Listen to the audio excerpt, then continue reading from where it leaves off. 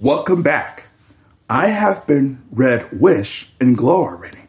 And now it's time to read the third and final book, and it's called Pigs. And I just want to remind you that these pigs are farm animals. And sometimes they are pets as well. And I cannot wait to read it with you.